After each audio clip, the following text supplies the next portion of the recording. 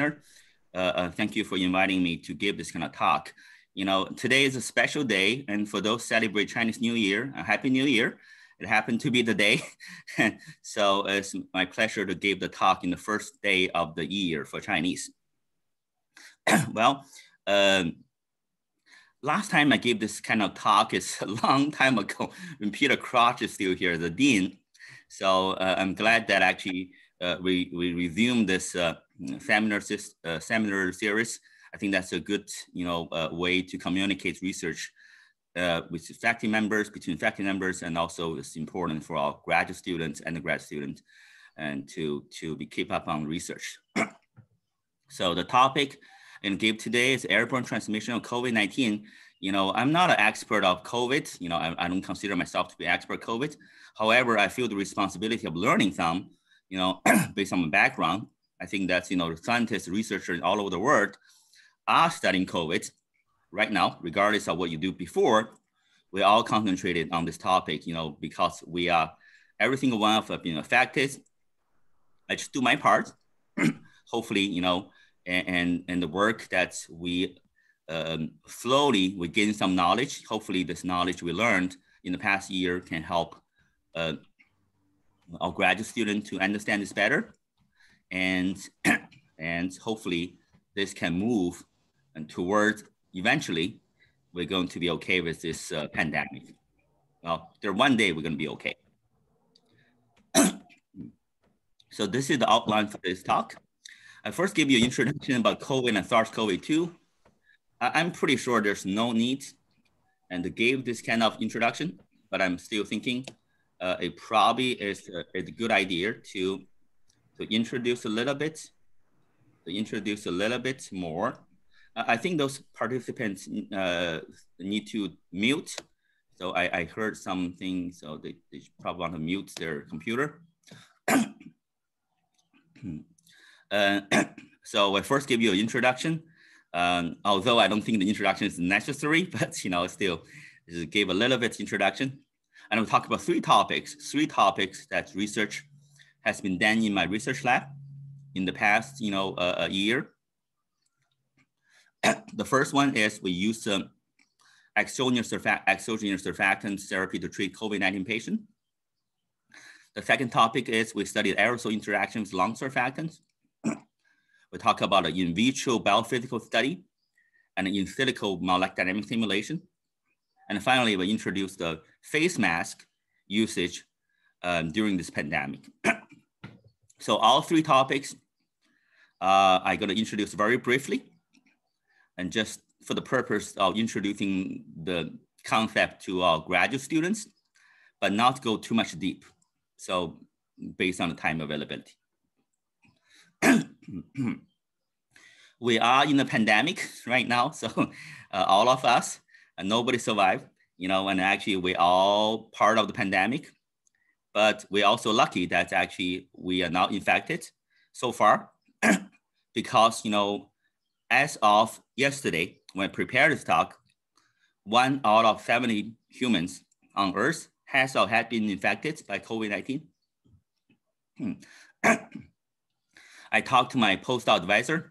He's uh, uh 80, uh, he's uh, 80 years old, 80, 82 years old. I asked him, have you seen anything like this? He said that not in his lifetime. so last time human beings see this kind of pandemic is 100 years ago. the scale and intensity of the pandemic is overwhelming and I think the researcher scientists all over the world has one common task and responsibility to address this pandemic in their best capacity. That's why we actually try to do something about this as engineer. um, I still include a, a, a brief video to uh, introduce the pandemic, even though I don't think it's necessary, but I think it's uh, good to introduce some terminology and by reading this uh, very short two minutes video.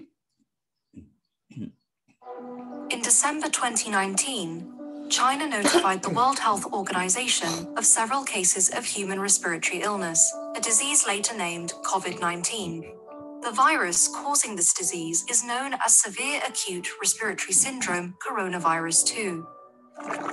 The disease spreads through small droplets that are expelled from the nose or mouth when a person with COVID 19 coughs or exhales. Therefore, standing close to someone who is infected can put you at risk. These droplets can land on your hand and be transmitted through something as simple as a handshake. If afterwards you touch your eyes, nose, or mouth, the so called T zone. The virus is known to survive on different types of surfaces, so touching these contaminated surfaces and then touching your T zone brings a high risk of infection. What we know so far the coronavirus is spherical in shape and its genetic material is encapsulated by different types of proteins. Some of the key structural ones are spike S protein, the most prominent feature of coronaviruses from where they get their name, then M or membrane protein, and the so called envelope protein.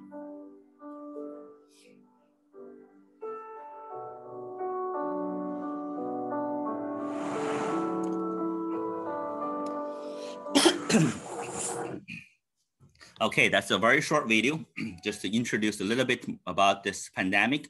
We have a terminology and the disease is called COVID-19.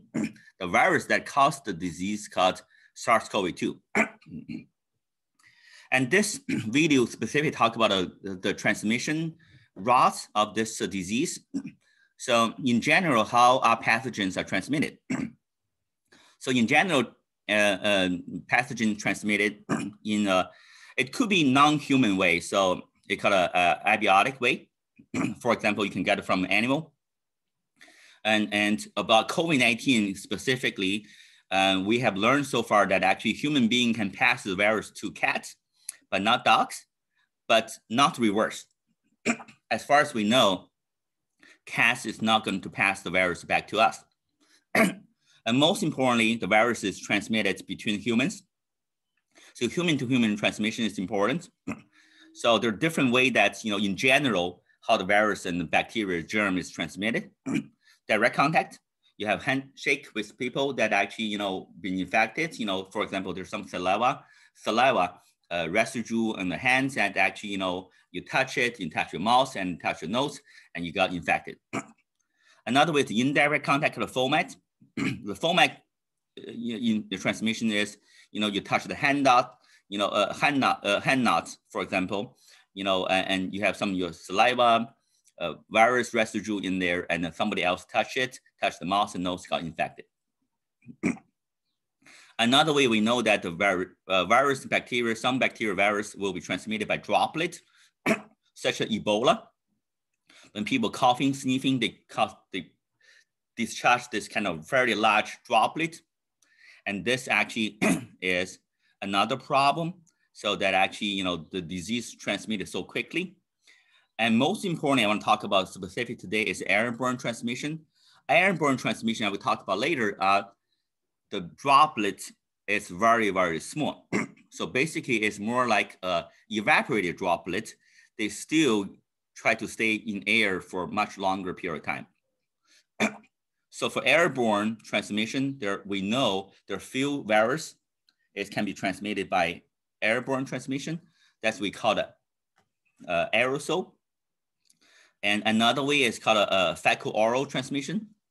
Fecal oral transmission uh, uh, at the very beginning, uh, and I think very beginning of pandemic, you know, scientists worry about this, but after so many, uh, after a year, now we learn this better uh, that's actually, we knew that the, the chance of fecal oral transmission is actually very low. As a matter of fact, what we know right now is even the transmission route of fomite, which is indirect contact, the, the chance is very low. and because the scientists still won't be able to, uh, to culture live virus from any surface. So in other words, this leave this droplet and airborne transmission probably is a major route of transmission of SARS-CoV-2. there are few viruses so far as known that can be transmitted by airborne, in other words, by aerosol, such as influenza, uh, tuberculosis, measles, chicken, uh, uh, chicken pox, SARS that we know also transmitted by air. How about SARS-CoV-2? So there's a lot of controversial about the transmission routes and last year, especially when this pandemic just got started. And after a year of research, as you may know that there are more than 100,000 papers been published already about COVID-19 and SARS-CoV-2. and, and the scientists, the researchers know more and more that actually this virus most likely is transmitted airborne. so what are differences between the droplet and the aerosol then? We talk about droplet and aerosol, what's the difference? The primary difference about this in physics is the size. The droplet is fairly large particle, usually larger than five micron, could be much larger, 100 micron. so because of the large size of the particle, and this droplet, once discharged by a cough or sneeze, subject to gravity and quickly settle down onto the ground. So the lifetime of this virus in air be very, very short. So the transmission distance is usually less than six foot. That's how the CDC set up the six foot regulation uh, for uh, social distancing. Aerosol, on the other hand, are much smaller particles. Usually the aerosol is formed by evaporation of droplet. Once the droplet is discharged by a sneeze, a cough, you're losing water because it's evaporating. so the residue is called a droplet nuclei is very often we call it aerosol. It's a size of less than five micron. It could be much smaller. It could be one micron, it could be even smaller. because of small size of the aerosol, it doesn't subject to gravity. it's gonna stay in air for a long time, could up to hours. It also have much longer transmission distance. Research showed that could be as much as 26 feet, or even longer. Another very, very important difference between the droplet and the aerosol is the droplet production needs a cough and sneeze. However, the aerosol does not. Research have shows that simple breathing is enough to discharge aerosols with virus. One research just shows that actually every individual infected COVID-19 patient for every exhale, they have a cultured live virus in their exhaled gas, air. okay? So the threat is real. So this video actually shows that the transmission distance of droplet and aerosol, as you can see here, the propagation distance is much, much longer than the six feet regulation by the CDC.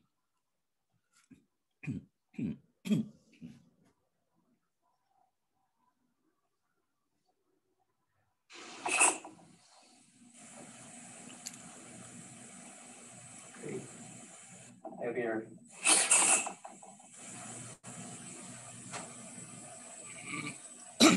Double go.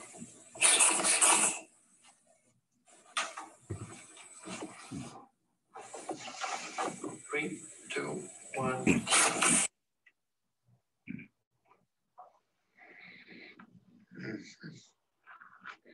Easy?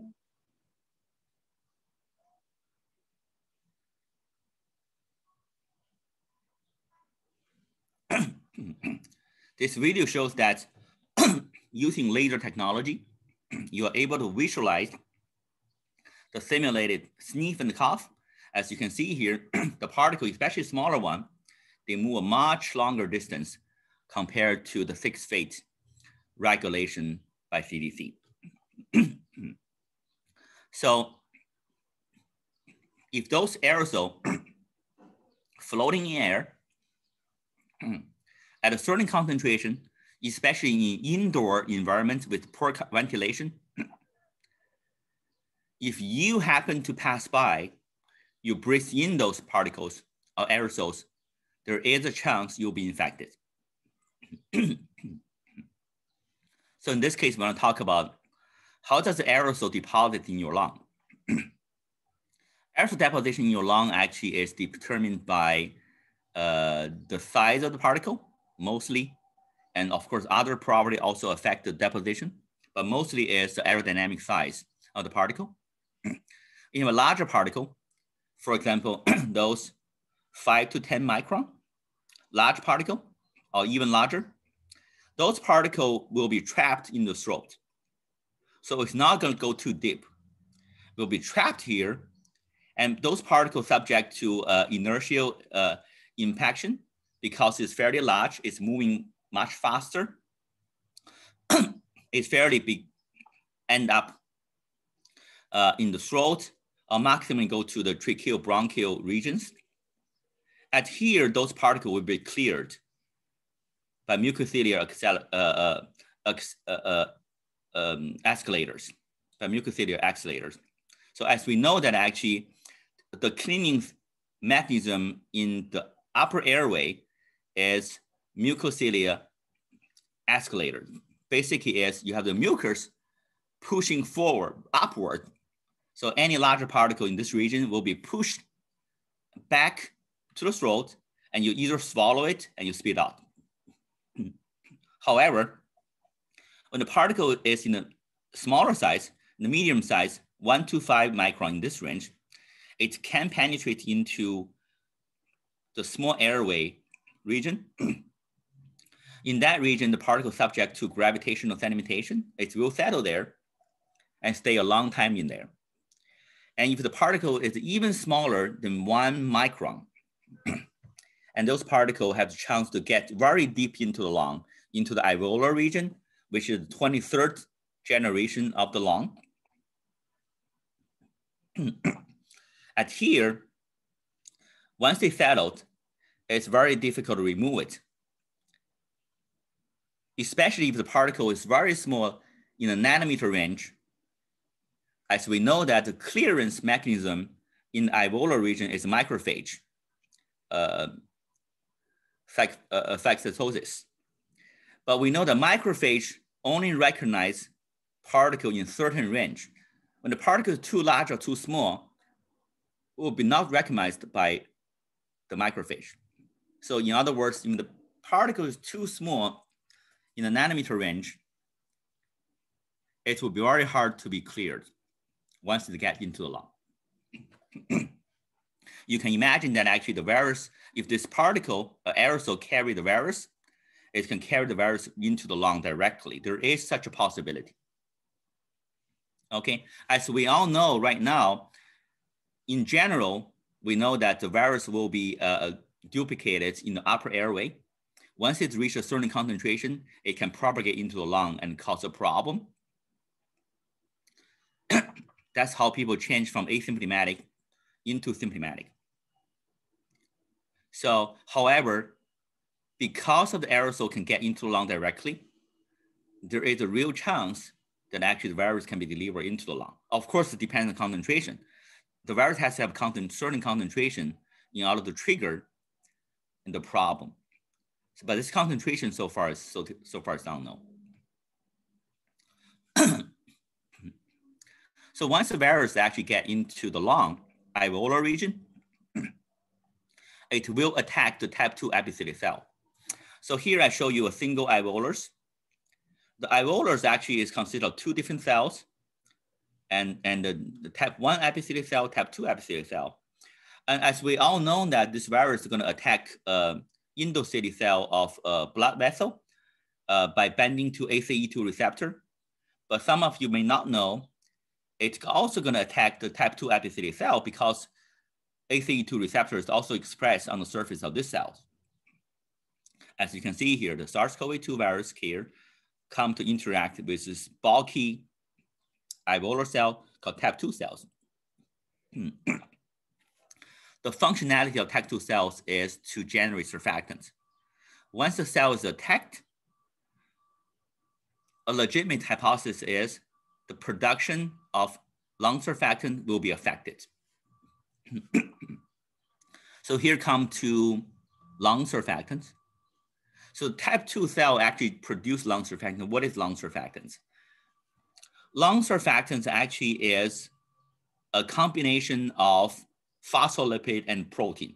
So there are about 85% of phospholipid, 5% of cholesterol, and 10% protein synthesized by type 2 epithelial cell. Once it's synthesized, it forms a thin film at the air water surface of the lung. It has two physiological functions. The first one is host defense against the inhaled pathogen particles. It can label the particles and signaling macrophage to clear those particles. Another very important biophysical functionality of lung surfactant is to reduce surface tension. we maintain a very large lung. We need to maintain a very low surface tension, otherwise we cannot open up the lung so that we cannot breathe.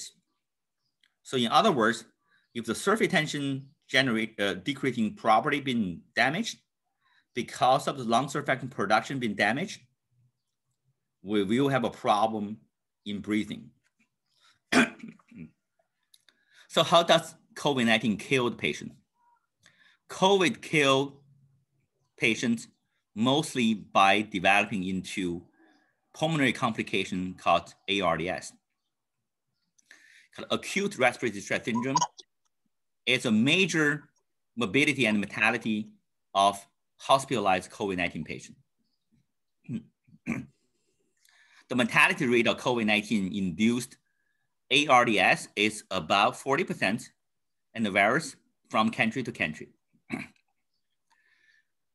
I talked to my friends, physicians, you know, pulmonologists in China. When this disease was first discovered early next, last year, and the failure rate, you know, the mortality rate of COVID-19 induced ARDS is nearly 100%. So in other words, all the patients who've been put onto a ventilator will have a problem and most likely passed. so uh, uh, Tyler, you may want to uh, mute. Tyler Yamo, you want to mute? Okay, I can hear you. Thanks. And please mute, please mute your computer, okay? So what is ARDS? Uh, ARDS is very complicated, you know, uh, uh, uh very, very complicated lung complex uh, um, uh, condition. So it's usually caused by inflammation. And the inflammation actually gonna damage the alveolar capillary barrier in the lung. So the consequence of the damage is there's gonna be a massive edema flooding into the lung region to flood the lung. So in this case, surfactants will also be inactivated. So in other words, you're not gonna maintain the low surface tension in the lung. So this is gonna further make the problem even worse. So therefore, surfactant inhibition may play a role in the pathophysiology of ARDS. So therefore, we are able to hypothesize that if your surfactant been damaged in the ARDS, can you rescue those patients by supplying more surfactants extracted from animals' lungs? That's our basic hypothesis.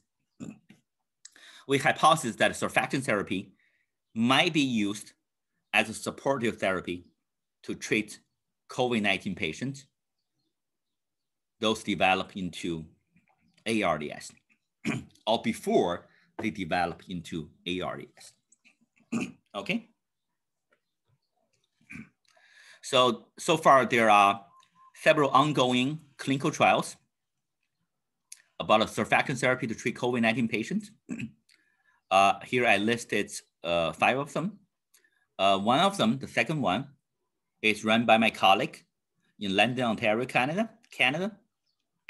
So we try to use a surfactant extracted from cow's lung called the BLES, bovine lipid extract surfactant, and to treat patients with COVID and the clinical trial right now is ongoing. so when you when you design a clinical trial of using surfactant therapy to treat COVID patients, there are several things you want to be careful about. uh, number one, timing. The timing is extremely important. So, and, and surfactant has been used to treat premature babies that born too early, they don't have surfactant synthesized so that you need, you need, uh, oh, I have a one question here. Okay. okay. So, and when the baby born too early, their lung cell is not mature enough so that they cannot generate enough surfactants. So in this case, we gave them surfactant extract from animal's lung. So we know from this practice that the earlier you give them, the better. So the same rule may also apply for COVID patients. The earlier you treat them, the better. In other words, don't allow those patients to grow into the severe cases and give them surfactants. That probably is the key to treat them. Another one is actually what kind of surfactant we're going to give them. There are many different surfactants you can treat patients. So you can use synthetic surfactant. You can use surfactant extracted from animals' lung, from cow's lung, from pig's lung. What is the best surfactant? Another one is the, what is the best way to deliver surfactant to the patient? So, so far the surfactants given by uh, intratracheal uh, delivery. So basically you're gonna intubate the patient and you pull surfactant into their lung directly. Or you can also give the patient by aerosol. That's another possibility and an even better one. and also the ventilation skill. Ventilation strategy is very, very important. You know, most of the patients actually in the severe cases, COVID stage, being put onto ventilation, ventilator. We all know that a ventilator actually is, can be an additional, an important damage to the patient's lung if it's been used wrongly. okay, how are you going to coordinate the ventilation strategy to surfactant therapy? That is actually an important uh, task to study. and another one is actually can we use synergetic drugs to be used with surfactants. So, so far we know that the few drugs, there's no cure. One problem about COVID-19 here is so far there's no cure. but there are few drugs have been tested to treat COVID, such as corticosteroids.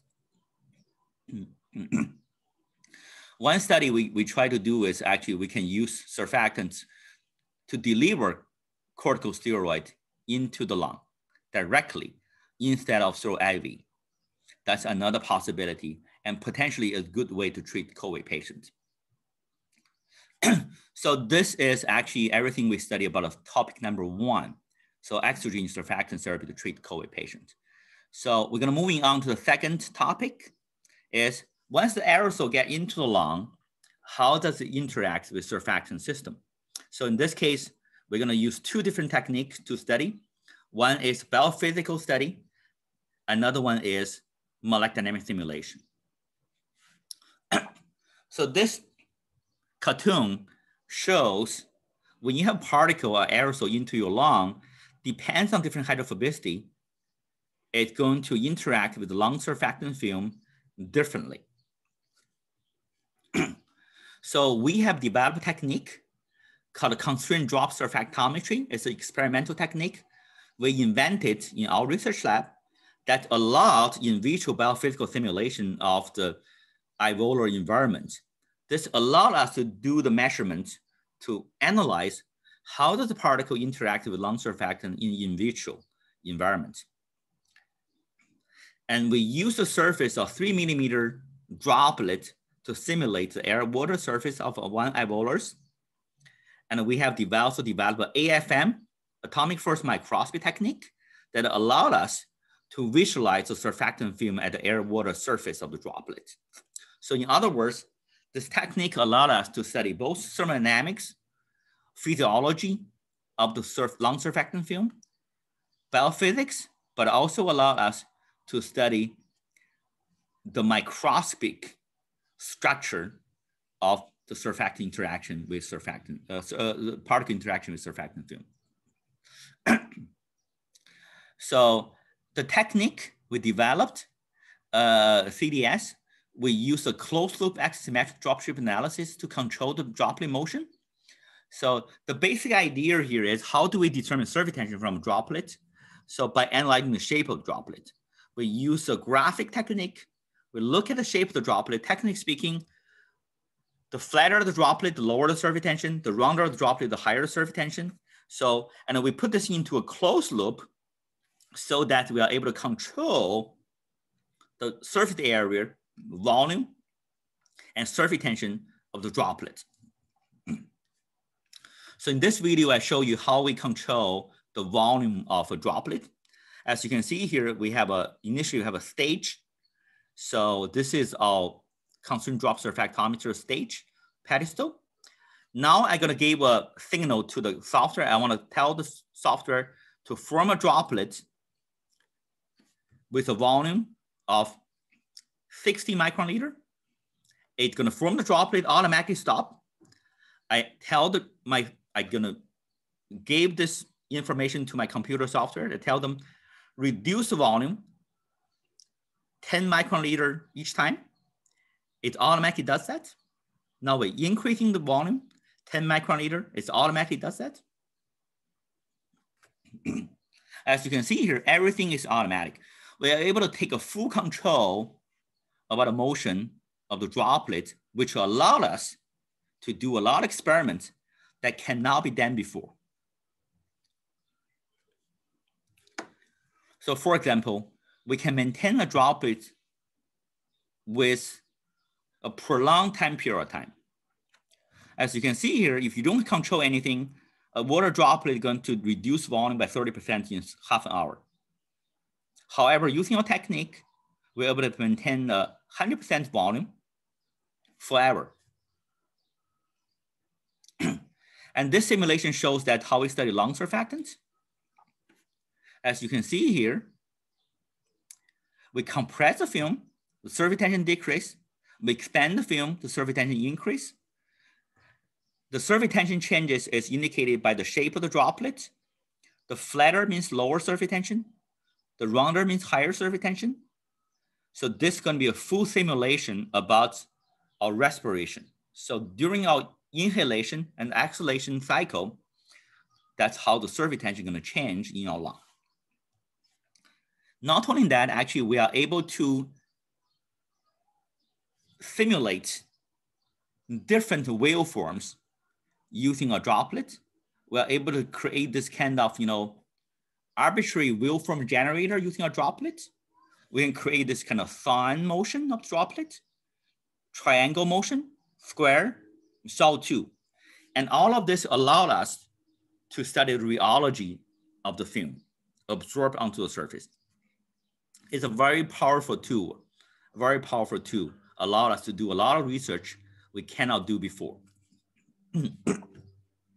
so this setup shows that how we study the aerosol interaction with lung surfactants.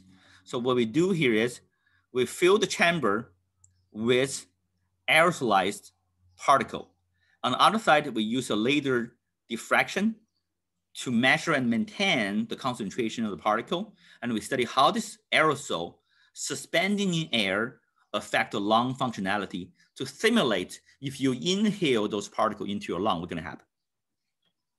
So here we show you a different concentration of two airborne particle. The first one, the carbon nanotube. The second one, the graphene nanoplatelet at a different concentration, how this is going to interact with your lung surfactant system.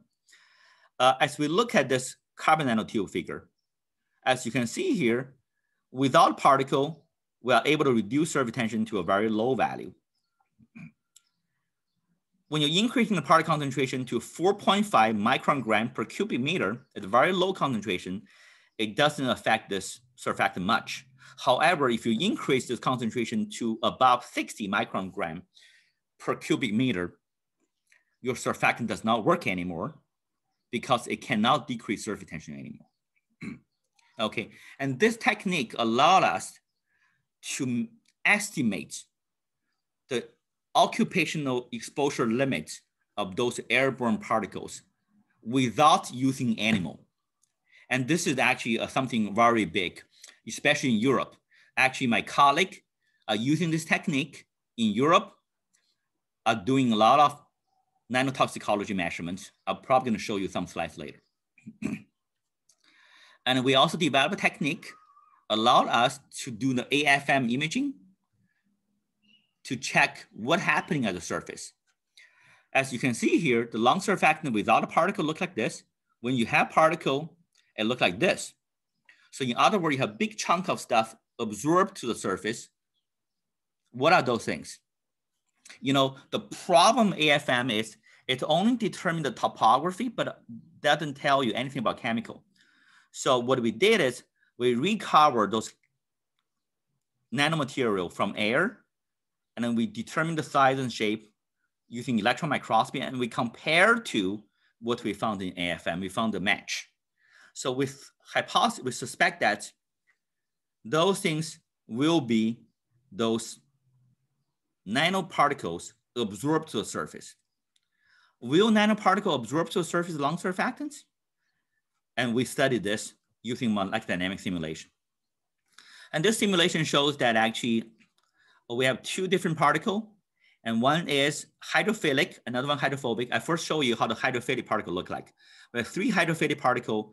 One is positive charge, neutral, and negative charge. Here it shows that how those particles interact with lung surfactant film.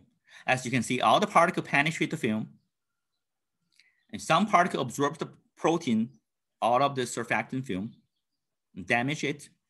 And in contrast, when you look at how does this hydrophobic particle look like? As you can see that all hydrophobic particle is trapped at the surface. As we all know that actually the carbon nanotube is hydrophobic, most likely it will be trapped by surfactant film. Conform our experimental observation in, shown in the previous slide. We also studied that if you throw the particle into surfactant in the bulk phase, what's gonna happen? So this figure shows that if you throw the surfactant particle into uh, a silver nanoparticle hydrophilic into a lung surfactant, and this shows that you throw a hydrophobic polystyrene particle into the lung surfactant, what it look like? It's gonna form different corona structure.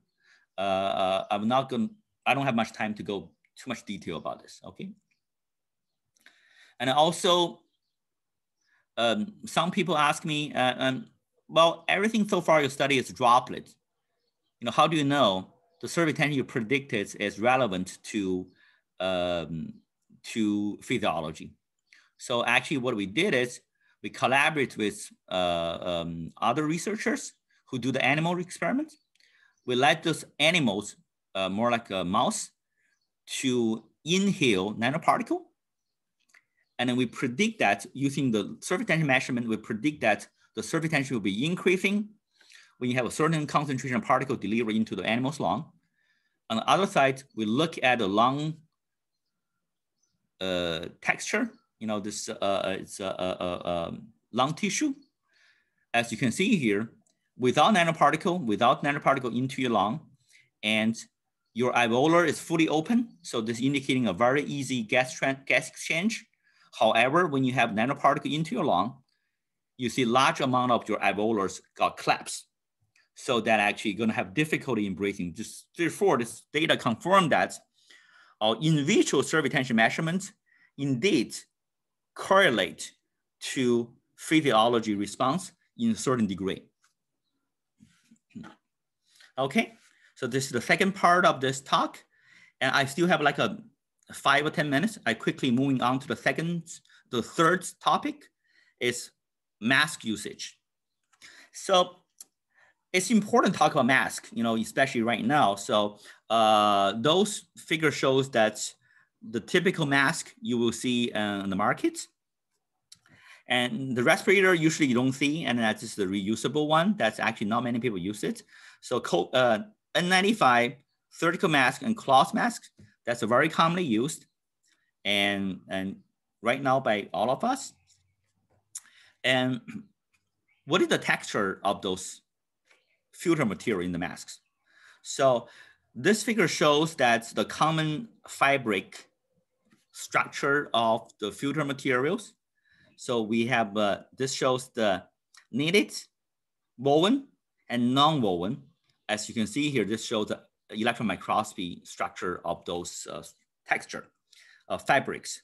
So most of this surgical mask, surgical mask has three layers, N95 has four layers, but the filter material in the middle are made of non-woven non-woven uh, uh, uh, material. The reason for this is this is easier to be mass produced. So you can produce this non-woven uh, uh, cloth fairly quickly in a large quantity. So this actually is one of the two uh, non-woven technique. It's called a melt blown, which is gonna allow you to produce a large amount of filter material in a fairly short period of time. And this filter material need to have a very small pore size. So this video actually shows that how the mask reduce the uh, droplet aerosol dispersion in air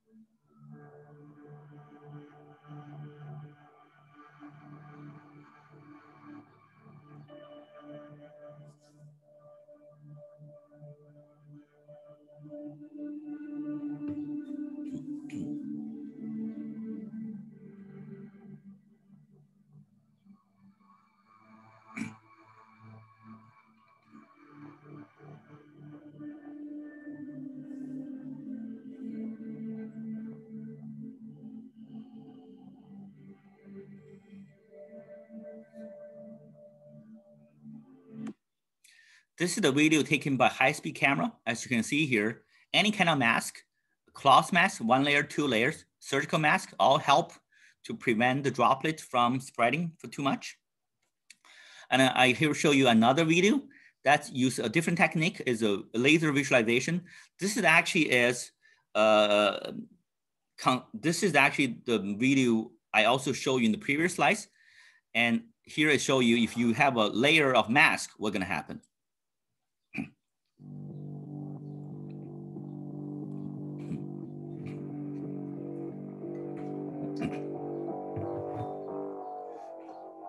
This is the without the mask. As you can see here, the particle propagates to a very long distance.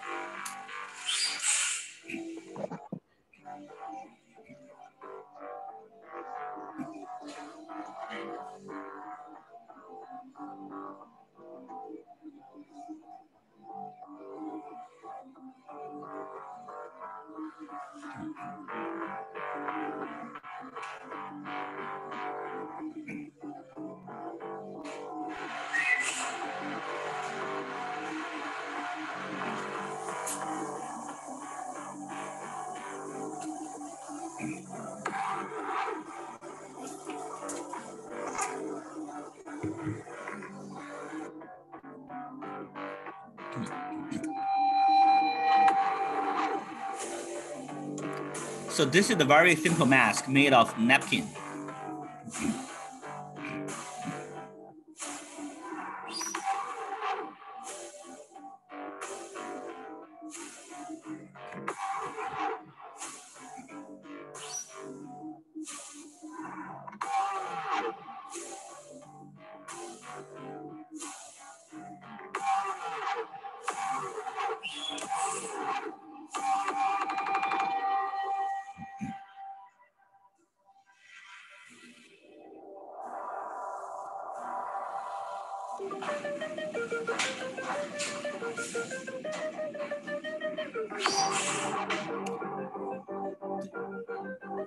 This is a cotton cloth mask.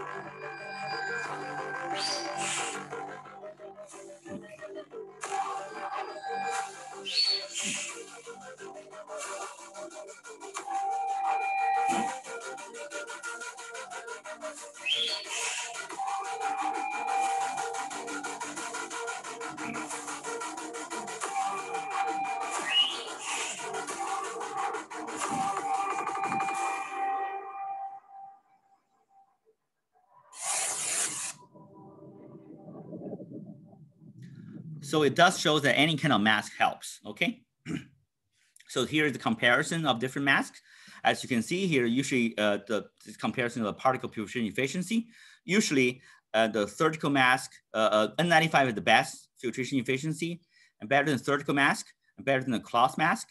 But actually, as you can see from the previous video, any of this mask actually helps. And also for the cloth mask has been mostly used by the general public. and uh, the different material make a difference, and especially the uh, uh the TPI, which is the thread thread per inch. Basically, how dense the material is, is actually make a huge difference. Also, the layer make a huge difference. As a matter of fact, you know, uh, CDC uh, recommend that you should not wear the closed mask only with one layer, Make minimum two layers, minimum two layers. Okay. so finally, let's look, let's look at what does CDC recommend uh, CDC recommend you do choose masks that have two or more layers of washable, breathable fabric. CDC recommend you wash the mask every day, cloth mask. So, and you completely cover your nose and mouth and fit snugly against the sides of your face and do, don't have gaps and have a nose wear to prevent air from leaking out of the top of the mask. As you can see in the previous video, and most of the particle actually leak from the top uh, uh, in the space between your nose and, and in top part of the uh, part, part of the mask. And do not choose masks that actually are made of fabric that actually make it hard to breathe. and you need to balance the filtration efficiency and breathability.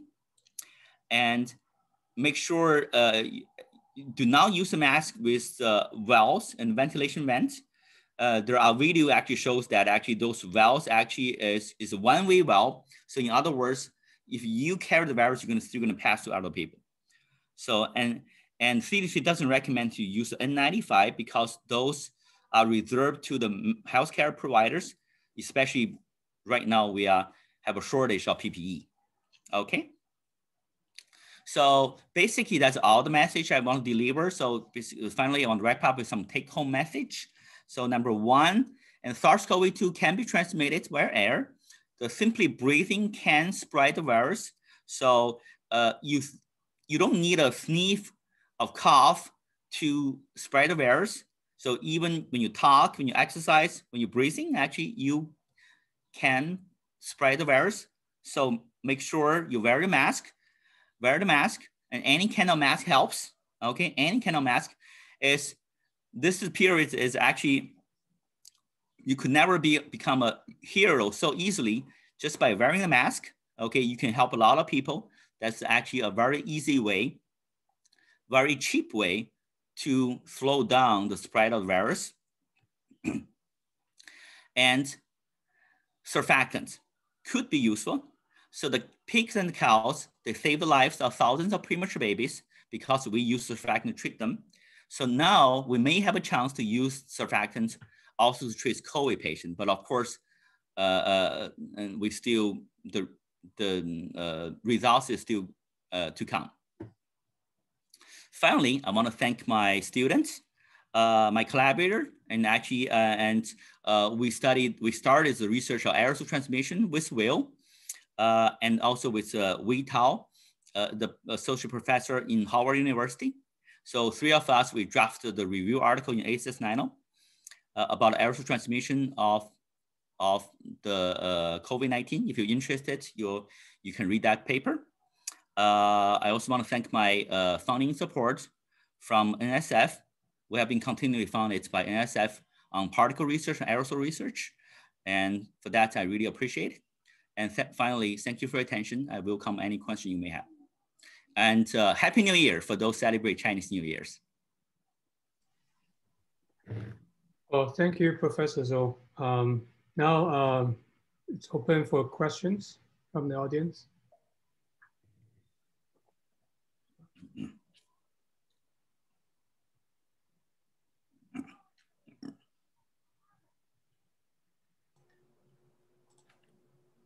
Uh, hey, hey, Joe. Uh, thank you for the excellent uh, presentation. I have just very quick and simple question. Um, you said when people cough, then the aerosol travels like 12 feet.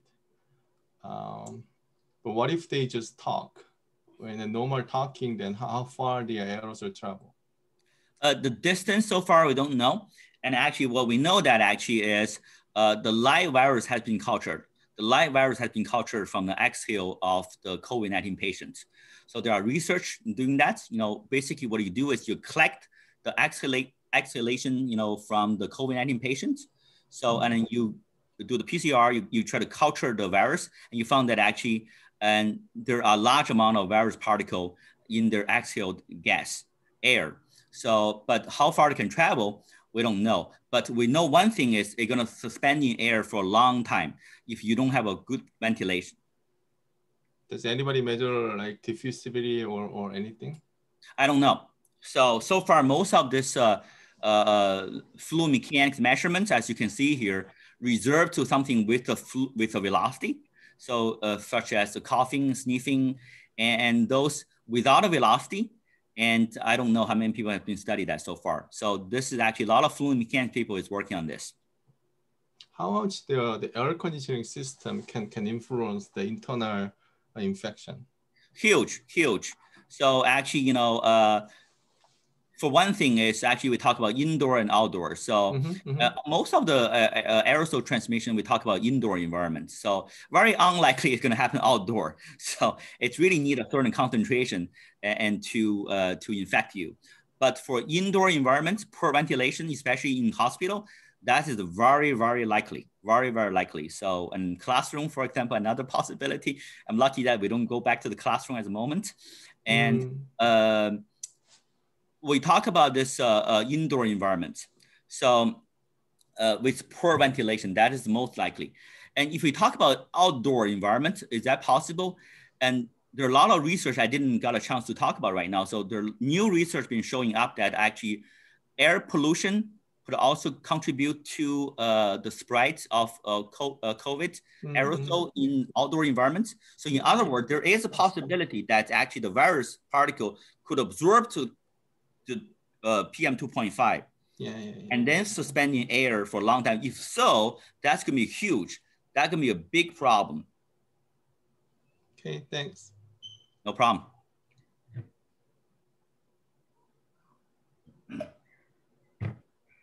Any other questions? I have a question. Uh, thank you for the presentation. Is there a noticeable difference for the spread by breathing between mouth and nose breathing? Uh, I think you know uh, basically all the air coming from a lung. So, and uh, both mouth and nose actually actually uh, uh, most of the research as you can see here, uh, especially fluid mechanical visualization experiment shows that a, a, particle out of your mouth that actually is uh, visually more striking. As you can see here, a lot of water, saliva came out. So uh, when you sniff, uh, uh, I, am pretty sure you also have a liquid out of your nose, but but because of velocity, I think that's kind of hard to measure. so most of the measurement so far is done by droplet out of the mouth. But certainly, I think all the air get out of your lung. if you are infected, uh, uh, you know, the virus particle will be associated with, uh, with the air. Thank you. Hi, uh, thanks for the nice talk. Hi. Um, yeah, I have two. Yeah, I have two questions. Um, the first is how is the um, the airflow inside your uh, airway influence the, uh, the transport of those uh, tiny aerosols deep into the lung? And uh, the second question is about your uh, MD simulations. I, I don't understand how um I, I don't understand how hydrophilic nanoparticles can actually interrupt the uh, the membrane, the, the the surfactant structure. So can you uh, explain a little bit about that? Got it. So um, for the first question, actually, you know, how the airflow affect the particle in your lung, in the airway. Uh, mm-hmm. Actually, uh, I want to show, um, share my uh, talk again. So.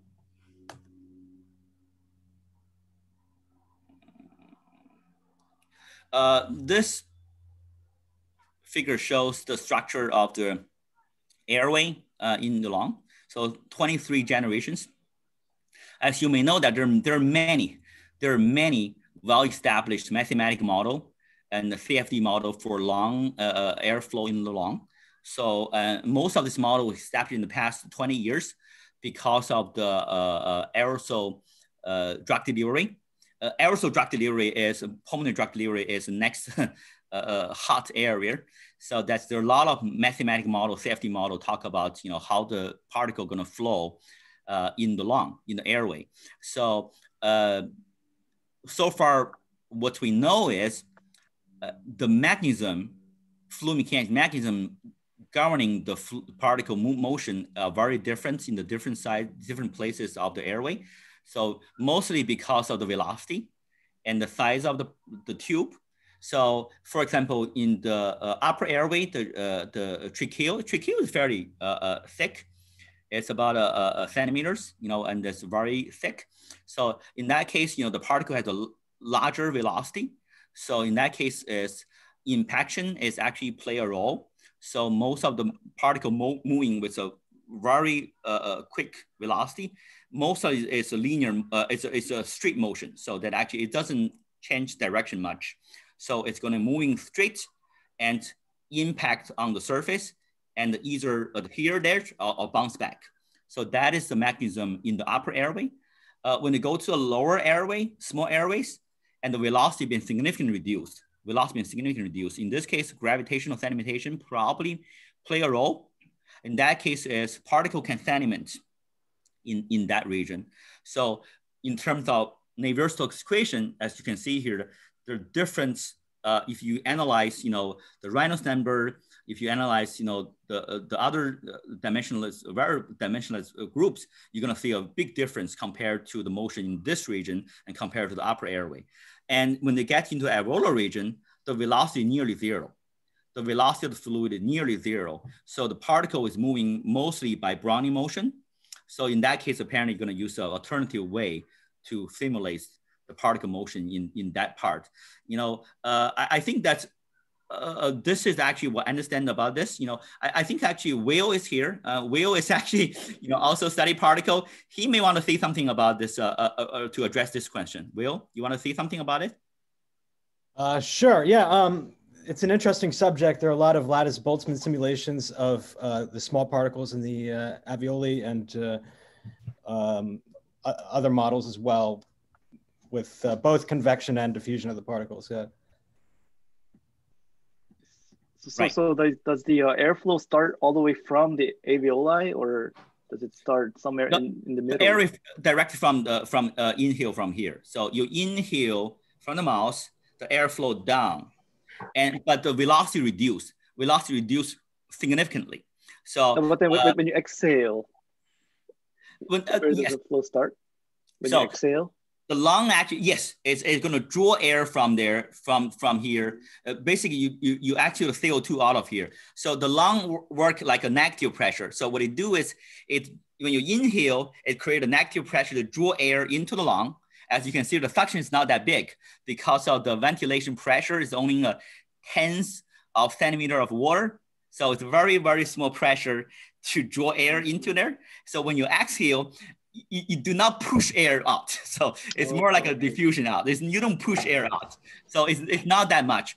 The ventilation pressure when we're doing the normal tidal breathing, it, it's only a few tens of centimeter of water. It's a very, very small pressure variation. So the lung design in a way that actually, the lung design in that way that actually the volume only change about 30% something, uh, uh, no more than 50%. You're never going to empty your lung. So during normal tidal breathing, So, and, and it's it, the surface area of the lung designed even to be even change smaller. So surface area of the lung change probably less than 20% during normal tidal breathing. So, mm-hmm. and, and, because of the, all of this alveolus, there, there are million, 300 million of them. So that that's actually a, a, we can talk a lot of lung physiology, but here, but but I think we can stop here for for, okay. for now. So we can talk more about it. But there are a lot of mathematical models. There are a lot of mathematical models, full models from the zero generation to 23rd generation, full model of lung of the uh, fluid motion in the lung has been implemented. There are a lot of research about that. So Sam, what is your second question? Uh, so about about how hydrophilic nanoparticles can interrupt the membrane. Got it. Right. It, it sounds like you know it will not. So uh, because it's going to penetrate. So mm -hmm. when you look at this cartoon, when you look at the cartoon, actually it shows that the red colored hydrophobic particle will be trapped here. Uh, everybody understand that because you know the hydrophobic tail of the uh, lung surfactants gonna trap those particles in here. But how's the hydrophilic particle show? So, and, and hydrophilic particle most likely going to penetrate. So, however, this cartoon actually partially inspired by our simulation data. It shows that actually the hydrophilic particle, even though it penetrates the surfactant film, it could have a problem because it, it's going to absorb the surfactant protein. So that is a big problem. As you can see here, there's certain kind of protein absorbed on the surface. They're going to form a corona on the surface of the pro, on the surface of uh, nanoparticle, and this corona actually draw molecule out of the surfactants, so that the surfactant film does not function anymore. So that is one big uh, uh, pathophysiology that we discovered and from our simulation data and in uh, uh, uh 2013. So this research, I showed this video one more time. Mm -hmm. This is the anionic particle, anionic particle. As we know that actually most particle, regardless of this is original charge, once you deliver into liquid, it's all carry negative charge. So, so in other words, all particle is anionic uh, in physiological fluid. So when an anionic particle, hydrophilic, you get into the lung, as you can see here, it quickly penetrates. It quickly penetrates. However, as you can see here, it pull one surfactant molecule, protein molecule out of the out of the interface. So once the protein is immobilized onto solid particle, it will be denatured so that we know that we only have less than 10% of protein in the surfactant. And those 10% actually is so important. Without the protein, we don't have lung surfactant. Without the protein, we only have a cooking oil at home. So, so you know, the surfactant is phospholipid. It's the same structure as cooking oil. So the fact that it's behave as surfactants is because they have 10% protein. If you destroy the protein, your surfactant does not work. Excellent, thanks. All right, I think uh, we can stop right here today and let's thank Professor Zuo again for this excellent presentation. And everybody have a good weekend and um, we'll see you next time. Okay, thank, thank you. you. Thank you, bye.